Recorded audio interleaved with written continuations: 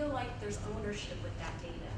And they really then are interested to see what's going to happen. Um, I think some of you know that I did that recycling project in the spring, and those students wholeheartedly were going and putting their hands in the trash every day after school and really, I mean, they weren't supposed to be doing that exactly, but they were separating the trash and going through it and really, you know, some people have commented that they were smiling while they were doing it. And I, I really just told them, you know, we're going to make a big impact with this project. And I, and they were sold. And, and I never, you know, had to force them to go do this. This is something they wanted to do.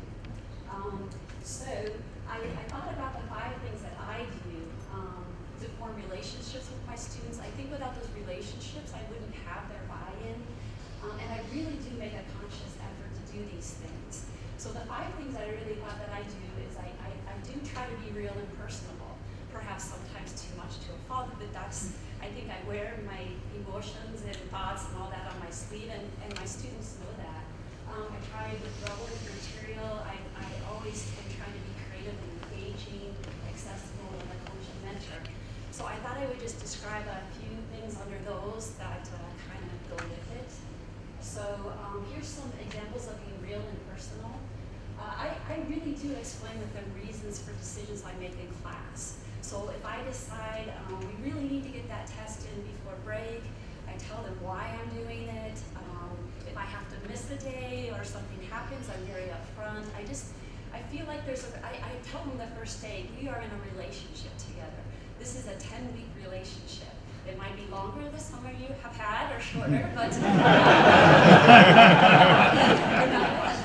uh, I that it's a great relationship for me because I get to make all the rules but I do like to have a dialogue with them. Um, I do give them ownership in the class. So if it comes, um, you know, the last week of class and I'm kind of pushed for time, sometimes we'll vote on something. Do you think we should have the test this day or that day? Um, is it all right with you? I add another quiz. Let's vote on it. How many do we have? I, I think it's all right. And then they feel like they helped make that decision.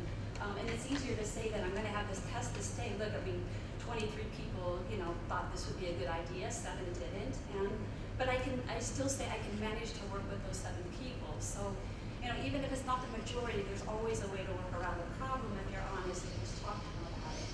Um, this one, I know I'm saying some things that are breaking rules, but I'm on in the evening working. I don't know about, probably you are too, but I mean, my typical hours are probably 10 to 1 a.m. And that's when students are doing their work. And I do get a lot of emails in that time. And it doesn't anger me, actually. I, I like it. And I like that dialogue that I have with them in the evening. And sometimes it's actually kind of motivating for me too. They're sharing with me their problems, but sometimes I'll say, oh, I'm working on this just a minute, I go, gotta go take the dog out. You know, it, you become somewhat personal with them, and especially my online courses this summer. I felt like I really had that personal interaction with students. They were taking the class from all over the world. And it, it's really exciting to listen to their stories and have that dialogue. And I felt like I really got close to many students this summer. Um, I have written about things, and in our newspaper, I, I, wrote an article on depression and anxiety, and um, I know it's hard for you to believe I'm anxious. I, I just doesn't come that But um, I, I, think it's very important. You know, I was a very anxious student, um, and I had panic attacks, and I know what that's like. Um, I wasn't. I mean you know, my brother, he's so, so smart. It's just off the top of his head. I had to work so hard to do well. And I was always very anxious in class. Um, I had a professor suggest I go to see a counselor. And I do the same thing with some of my students. I know numbers of people that I can refer them to if it's more serious than just our counseling, you know, can deal with. But depression is real, anxiety is real, and um, I'm not afraid to share my stories with them too. And uh, so I do some fun activities. So they do get to know me. And the one thing I do talk a lot about in my class is my mom. Um, most of, you know, most of them have guardians, so the, the relationship with child and parent is is known, and I, and, you know, and I feel comfortable talking about mom, my dogs, my parents. Um, so one thing I do in class uh, on a weekly basis, I, I made up a game that's called Letters from Mom. And so here's kind of how it goes. So every week, truthfully, sometimes twice a week, my mom sends me a letter so really, it looks like this. and um, it's called a letter from mom. There's always two things in the letters that she sends people. She sends me usually a card or a note, and I always show them that. Um, but there's always two other things that are in this letter. So anybody want to take a guess at one thing that's always in there? Money. Money. Oh, who said that? Okay, so here's another tactic. So we have lots of games. Look at the fun things you can win. A little normal curve. Isn't that beautiful? Okay,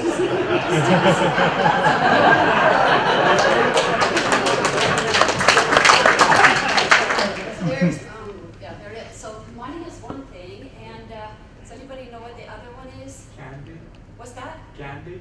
Oh, no, because it can make it heavy and she's very frugal. Okay. What's that? No, she, no, she's not into that. Okay, Coupons. yeah, no, no cut Coup- No, well, sometimes, but really not, no. Coupons. she's- What's that? Coupons. No, um, sometimes she gets someone, okay, we're going the What about a joke? coupons. Oh, coupons. My parents are frugal, so every week my mom's giving me the dog food coupons and the, you know, you know, stuff like that. You know, so, uh, it's very nice. And, uh, but anyway, so the students guess how much money is in the letter, and who's ever closest wins a prize in class. And then if there's a tie, the tiebreaker is number of coupons, so they have to do both guessing. It's a really fun game. So some days I'll come to class and be like, "You doing a letter from mom?" or "Did you get a letter yet from mom?"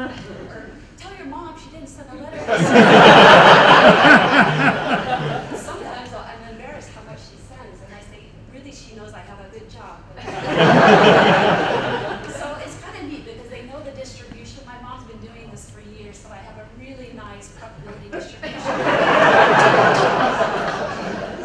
So anyway, in my class, my students do win prizes. Prizes are exciting. I mean, remember when you went to the dentist? Like, wow, I get to go to the treasure chest and stuff. So I really have incorporated that into my class. Um, they can win Java Drinks, which is so exciting to them. I just give them a card and go get one. And here's some of the probability gems. So I have a whole, I have 50 of these. um, I, these are the evil distribution. I got this at a yard sale for 10 cents. Uh, this is from the Royal Collection, just a bunch of stuffed animals. I've seen some in the claw machines in Terre Haute. Anyway, that's a whole different I have a bunch of elephants now. I started collecting elephants to give away, and then, of course, peanuts to go with the elephants. so another way that I do it, I'm doing with my students is very relevant. So to talk about this story, um, a couple years ago, well, actually seven, I took a sabbatical at a circuit board company just so I could actually do quality work. Um, and so I knew what my students would be doing when they had a job. Um, at that time, Six Sigma was hot, so I thought, you know, I got to get myself this whatever this black belt thing is, you know, because um, this is so relevant. And I go down to the career fair, everybody's talking about the Six Sigma, so I, I, I have to get educated in this. Um, I went ahead, got um, my belt in that, and now I feel really legitimate teaching it here. Um, it's been a great avenue for projects. So you probably seen, you know, the recycling project. There was one plants. We did another one with food waste. This has been a great avenue for projects, and these are things that are really helping our students get jobs because they can talk about it at an interview. Um, I've been able to write uh, articles with students, so I already have a couple. Um, Minitab's been really picking up on them. So uh, the Software where I'm going has written some really nice case studies on the work that my students are doing, and it's something I can involve them in, especially the ones that are real go-getters that want to go beyond just learning the material. Um, I've been able to go to a few conferences with students and present our work. Um, and it's such an exciting time for them. You know, I, I just feel so good about being able to incorporate students into my research. Um, during my classes, we always have guest speakers, or we go on tours, or we go to dinners together. Here's some of the places I've taken students: uh, Girl, TC Crew, Bemis, CSM Steel. I've had a lot of our alumni come back to talk to our students in the quality class. We went to the landfill um, when we wanted to see about when we started the recycling project. And um, every month, the ASQ holds local dinners. That's American Society of Quality. And my students actually like to go to that ASQ. We'll pay for them to go to these dinners so they get to hear a speech. They get to meet some of the quality people in the community at Lilly, Cummins, and it's a really nice opportunity for them. Um, some other class projects. This was the two years ago that we did the food waste um, project. Turned out really well. We were able to get some articles from that. Um, and the results showed that we could definitely save money, thousands of dollars per quarter if we implemented some of the suggestions from that study. Um, just some of the other projects, here's the, um, one where we're taking a look, look at those, how they in, Nancy, help. Honey, yeah, the honeysuckle, so they're all over, right, all over campus. So one group tried to do the removal of these, we were trying different tools, um, for efficiency, so that's the honeysuckle one. Um, you might have seen a couple years ago, we did Java City during passing periods, which is crazy busy, so we were trying to get more customers through per hour. Uh, and here's the trash one. Uh, this, yeah, one day we just, I, I was, I didn't realize how much trash we had, so I just asked from the weekend, all the to go down to the recycling center, we would separate it. Yeah, that, well, yeah, okay. But anyway, uh, the students went, uh, some of Patsy's here students came and helped us out. It was, it, I mean, when the students actually visibly saw how much trash there, they were amazed. Um, yeah, I want to talk a little bit about trash. I was so amazed. There's, there's so much things you saw you see in the trash, but there was one thing just quite horrible. I, I, I mean, it was disgusting. Wait till you see what I saw in the trash.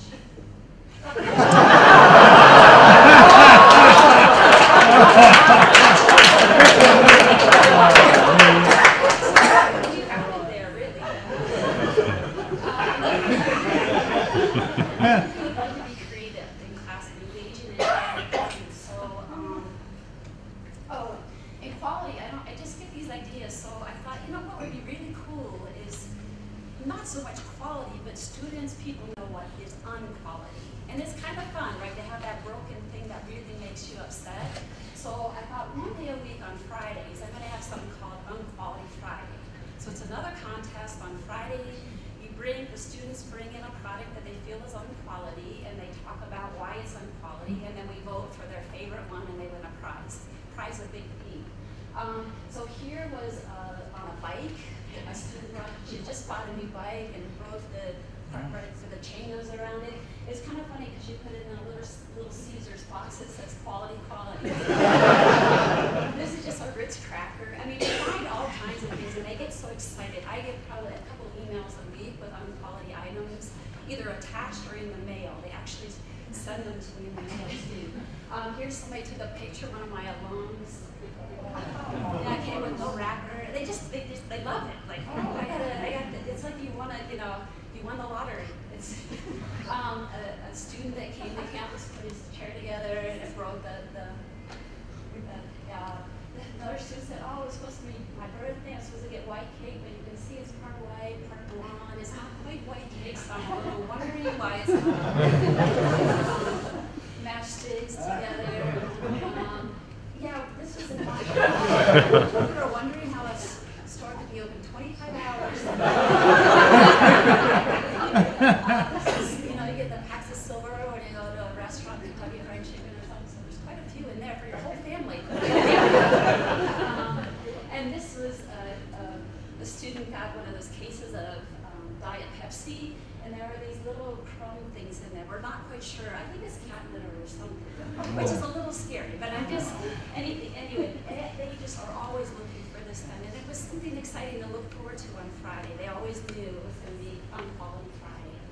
Um, I also really like learning through doing. So instead of using dice, I use little pigs to roll, and um, because you don't know the probabilities of landing on its side, on its nose, on its back. Um, all these different positions have points associated with them. So if you've ever played pa- Pass the Pigs, basically that's what we're doing in class. And once you have enough trials, you can start seeing what the probability is that the pig will land on its nose or its side or its ear. So I went ahead and um, I bought a ton of these. Actually, I 500 when I went to the last conference. They handed them out. But I mean, you can buy these. I mean, eight for like two dollars. So I just have a huge collection of pigs, and then I just hand them out, and they think that's the best thing they ever got all year. You know? I should, and then, hey, I shouldn't say like this, but yeah, later they roll their pigs, and they're like, oh, Dr. Evans, what a great class, probability. You know, they kind of associate that then that we did something, we did something with probability, and they learned something. Um, why do I think games like this work? When they play Pass the Pigs in class, it takes five minutes.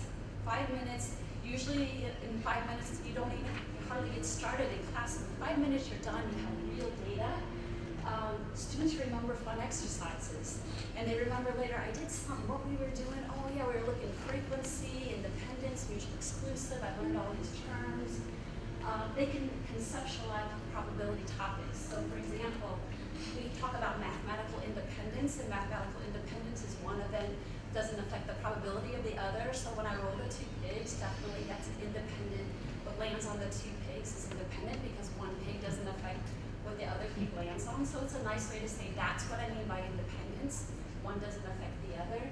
Um, this is data they collected. So after they spent five minutes, I have them tally up on the board how many each they got, and I can use those probabilities throughout the class to bring up, you know, how to add probabilities, how to multiply probabilities, how to condition on probabilities. And um, a lot of students play this field in class then. They'll take it away, they'll try to write programs for it, um, they'll go to download it. So lot, I get a lot of mileage out of this game and allows me to ham it up in class.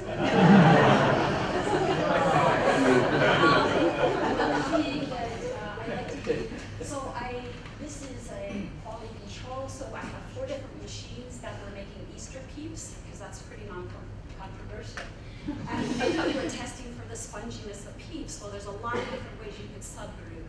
So every hour you could subgroup across the machine, you could subgroup within the machine, you could subgroup just from um, this blended string down here, and every different view of that will look different on a control chart. So I just didn't want to give them the data, so I, I combined with one of the CS projects. I got a nice junior CS team, and they actually animated this online, so you could go and you could just click on the peep, and it would send the data to a, uh, an Excel worksheet. So they were actually getting the data that they were going to analyze, and the nice thing is we built it in so they could choose different distributions, so not all of them came from a normal distribution, so you can start to see when you change this, the distributions what the different subgrouping looks like. So it was a really nice way for me to connect with the CS team to build something that was really useful in my quality class. Um, accessible, so I'm trying to think, oh, I know what I have here. It's going to be a little embarrassing, but I'm going to go with it. So uh, here's the problem. It's about um, solder joints on the circuit board and figuring out how many are defective and how many tests you have to do. So the reason I bring this up by what I mean by accessible is when I came here, I'm, I'm kind of, maybe you can get that, I'm a kind of liberal artsy. that is my background, and I always thought I would be going to a liberal arts school after I graduated. So when I came here, um, it was a little uncomfortable at first. I don't understand really circuits or um, all those little yeah, I just don't, you know. Mm. So the funny thing here is for two years, no one corrected me. I always read this way, okay, human visual inspection of solder joints on face. and I said solder I, for two years until finally when I was teaching DE, a student said, um, Dr. Evans, that's solder. I said, oh, that makes sense. I've heard of those things. You know? I had never, you know, so I felt like if I can't conceptualize what I'm doing, then it's not very helpful to my students. I can't even really draw them a picture of something I don't understand. So I can take this problem and make a problem that I like that have the same output. So this is exactly the same problem, but I'm asking about how many keys I have to try to open the door, which makes sense to me and it makes sense to them. And I still think they can do engineering problems. I don't think I'm hurting them by having something with a different uh, context to it. So, and I love to include me doing funny things like riding horses and playing cards. It's just, I don't know, it's fun. Um, so last thing, yeah, I feel like a big part of my role as a teacher is a coach and a mentor. I mean, really just to be there to facilitate the class and to encourage them. Um, we see, oh, some of the, I just thought I'd bring up some of the stories. This is Liz Evans one of the most beautiful high jumpers you'll ever see in your life. It's so nice getting involved with your students and seeing things that they can do that are amazing. Um, I've tried to go to as many meets and games and matches as I can because just to see that other side of students. Um, I ended up breaking a couple of arms a couple of years ago, and then we ended up doing a project together because she really likes sports, wanted to get into statistics, and I had my arms broken, so we we're trying to figure out a way to measure swelling in your arms, and then a project came out of that. Um, the baseball team, this is the baseball they gave me at the end of the season. They had a great season. Um, I like to go to plays. I love the plays they put on here. The first year I thought, engineering school, I'm gonna go to a play. I just like this is okay, I'll go because I was on we used to have that performing arts committee. So I was assisting behind out programs my first year and I thought, oh my goodness. And it was just great and I was so surprised and I thought, oh I wouldn't have I wouldn't have ever known if I hadn't gone. Um, I've, I've taken students to conferences, um, some of the different student groups. It's been great. Our students are so responsible, so mature, and people, when we take them to conferences, are just amazed at how great our students are. Um, and here's a student from China. He brought me back. Uh, he said, "This is the version of Snoopy in China." So I was, so when you know, when they know what you like, they really like to get in and participate with you. So this is my Chinese Snoopy. Um, last thing, I, I really think pep talks are important. Um, I had a professor at Ohio State that he'd say, okay, today I want to give you guys a pep talk. I mean, we just did really bad on the test. You feel really miserable. I think pep talks are so important, especially when you give a test back. You know, just just to talk about it. Now, some of you didn't do the way you want to do. That doesn't mean life is over. Let's talk about it. So pep talks are, are good. I mean, sometimes you, you were that person. Why am I here? What am I doing? Why am I at this school? Is this the right place for me? And I think it's really important to help others. So one of my favorites is Carol Burnett. I, I love her comedy, but know, she said it, it, it might seem selfish, but giving away kindness really gives a lot to you. I mean, what you give gives back to you, and I, I just think it's beautiful. And from Charles Schulz, I think as long as you do something with sincerity, it's it's going to work.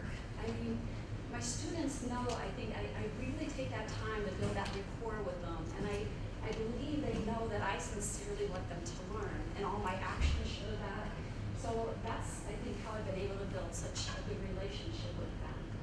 And in conclusion, I just thought I would say thanks to my mentors, and especially um, Dr. Graves and, and Dr. Lotzenheiser. And I've had some hard times here. I mean, I never, I never thought I would be standing here. If, if you knew me a few years ago, it didn't look like that. So. Um, I just really appreciate everybody's patience and help getting through some really hard times and making it to this spot today. So, so that's it.